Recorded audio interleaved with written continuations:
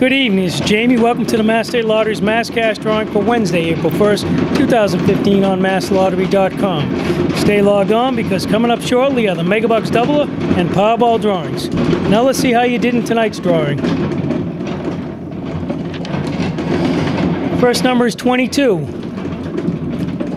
Following that is number 12. Right behind that is 8. If you match these three numbers, you've already won a prize.